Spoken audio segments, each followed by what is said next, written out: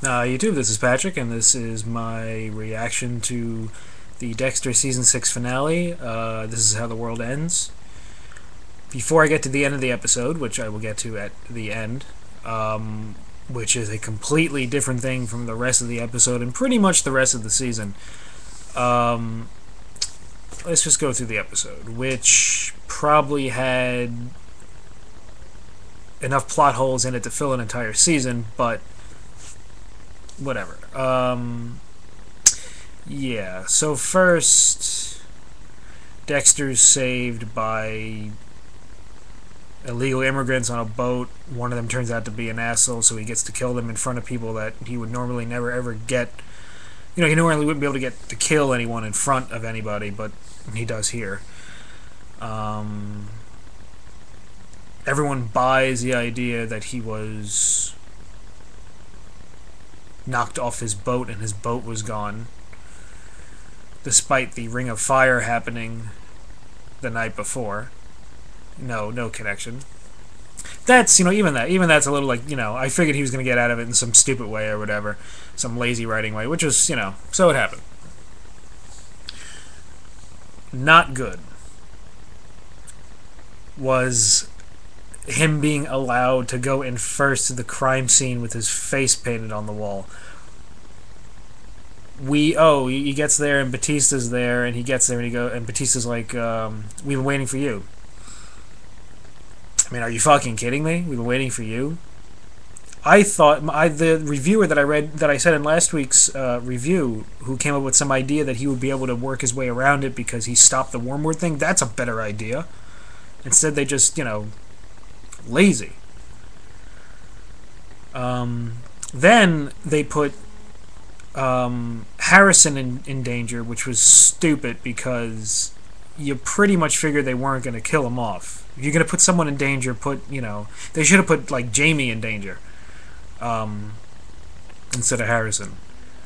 Um, also, I read the whole thing with him injecting himself. Um, that was supposed to be they were gonna somehow reveal that he he took all the liquid out and then he just didn't really inject himself. Um, but they said it didn't work in like editing and stuff like that, so they just left it out. No, that's a, that's at least an explanation for some of that, but also that means he's injecting himself with air, which I'm pretty sure. Well, I guess if it's not in a vein, does it still kill you? I don't know. Also, Colin Hanks is Travis was pretty much the only person like in the world that would know that he was fake. He like that thought that he wasn't faking it. Every Dexter fan knew like he, you know, he didn't happen. Um, I feel like I'm going through the plot of this episode just by saying what was wrong with the plot of this episode, which is what I'm doing. Um, let's see. What else was wrong with the plot? Okay, fine. Quinn's gonna get transferred, but then Quinn's not gonna get transferred. So, what what happened? Nothing. Um, that's what I'll say about that because nothing unless they do move on on it next year. Um, you know, I, I don't know what they're gonna do with that. Who else? Um, LaGuerta makes like a 180 and all of a sudden is very nice to Deb. Either she's trying to do something else which will play out next season. That's what I mean. Like nothing happened. She's a bitch all year she ends the year a bitch. They, you know, so I don't know. I don't get it. I don't get it. Um, they have work to do with those characters. A lot of work to do with those characters. Um, Deb, they're really going with the angle of Deb being in love with Dexter, which I don't find as disgusting and I don't hate it as much. I think of a lot of people as a lot of people do. I'm willing to let it like play out. Although, of course, at the end of the episode, it might not play out at all. Now, um, it felt like something that I heard the writers again. This is an interview. They they said they've been bringing it up since like season two. Like it's something they really wanted to like explore and see if they could do. Um, which they had started in season two. You know, that's not too bad. Or really, really kind of dropped like hints here and there, but it, it's kind of come out of left field like the closest hint we've gotten to it is that Jennifer Carpenter and Michael C. Hall were married in real life. Like that's it. Um, so, yeah, I don't know. Um, but I'll, I'll I'll let that one slide. Um, let's see now for the positives. What did I like? Again, I'll get to the end. But what did I like? All right, the the guy, the weirdo that sent the ice truck killer's hand to Dexter. I knew that was going to be a setup for next season. I'm looking forward to see how that plays out. I said that last week. I still stand by that. Um, he's a weirdo. He's involved with Jamie. He could, you know, uh, he could be obsessed with Dexter. It could be like a side problem for Dexter if there's like another big bad next year or whatever. Uh, plus whatever's going to go on with Deb, so who knows. Um, Colin Hanks was good again. Um, he was a little more cartoonish this week, yelling at the two dead bodies, like "I can't stay here if you're gonna like stink up the place." That was kind of it was funny, it made me laugh, but then thinking about it now, it was kind of over the top and whatever. Um, see. I'm trying to think if there's something else. If there's anything else. Uh, no. Okay.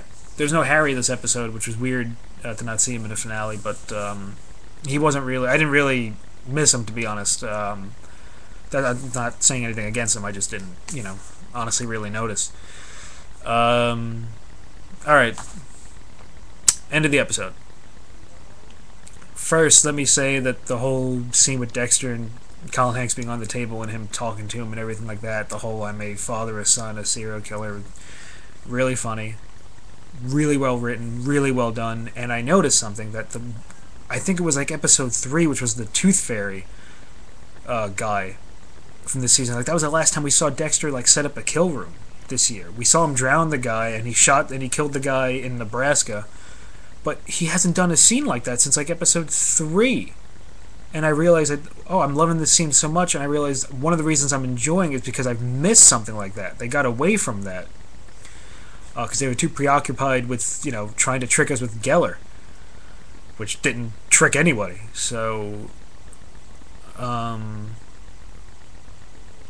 yeah, and again, it brought back the religious aspect that I was enjoying at the first half of the season, like when they really discusses it and talks about it. Um, I'm telling you know Hanks like you you know use God instead of the other way around and all that stuff like that. You know, well done, uh, well written dialogue wise. Um, but yeah, okay. I'm still not going to get to the end of, this, end of the episode yet, because first I'm going to talk about the season as a whole, which, as I said this again, first half of this season was wonderful, I thought. The second half was really not good. It, the Nebraska episode brought everything to a halt. They didn't get going again. Things just were spinning their their wheels. Then the last like three episodes, things started to pick up um, you know, the whole Gellar thing really brought them down, along with the Nebraska. Like I almost already forgot. Like Edward James Olmos like I like who here who here actually almost like forgot he was even a part of the season. Um, like it almost like the season could have done without him completely, which is why I said they shouldn't have you know made that a whole big thing. fuck it. Um, I don't know what else this season for me was starting out as a solid B plus um, to A minus. The subsequent five episode af- after the first six brought it down to probably a C to C plus. This finale I thought overall was really poorly done, um, but there was that last minute, which you know we've been waiting for for a long time, and it it you know, it was it was great to see, and even the last line of him of Deb catching him and him saying "Oh God" was you know that was really funny. Um, I swear to God, if she runs out of the church, hits her hits her head and has amnesia, I'm done. I don't think they'll do that, and the writers pretty much said they won't do that. So, um, we got two more seasons to go. I'm so glad that she found out with 24 hours left in this series, then instead of you know five minutes left or you know two hours or whatever. Um, I'm really looking forward to it because as it doesn't matter, the show is a completely different show now, with her knowing. It's completely different. It changes the entire game of this show completely. Um, it moves us. It doesn't quite move us into the like the end game of the show. We don't know what that's going to really be yet. I'm sure that'll come in with whoever the last big bad is. Um, but and I, I seriously I hope they have an episode next year where it's just Deborah and Dexter just talking, where Dexter just tells her everything. If it's one hour of television of one just sitting on this side of the room and one on the other, and they just speak, that'll be great because Hall and Carpenter are great actors, and like I would love if that's how they handled it, just simply. Um, because they try to get complicated. If they put Dexter in the complicated situation and they don't know how to write him out of it, they do it in a lazy way. They can't do that anymore. I've said again, you got to have a villain that can kick the shit out of Dexter, someone that can be a physical threat. Um, kind of like, you know, Bane in the new Batman movie. Um, there's things to play around with, but I, I, the fact that the show has an end date is a good thing. The fact that Deborah knows about Dexter is a good thing. That we still get that guy, Louis, you know, is weird with him. I like to see where that's going. Um, everything else, they got to get their shit together and figure out like end games for all the characters now. Um, so the season that went from a B plus or A minus down to a C puts me at a B minus. Specifically,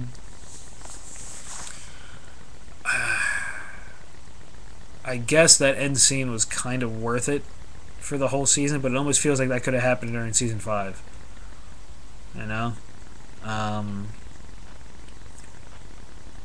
I still enjoyed this season more than I did season five, but not by much.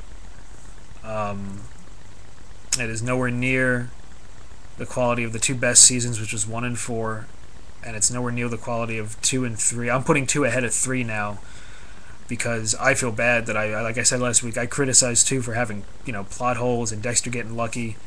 Forget it. Forget it. They could even. Uh... All right. This is me signing off uh, for Dexter. It comes back in September. That that's terrible. Comes back in September. That was you know, it was over. I was like, I have to wait you know this long to see where they go with this, but that's how it goes. All right, guys. Let me know what you thought. Season as a whole, episode, Deb finding out, whatever. Thanks for listening. Adios.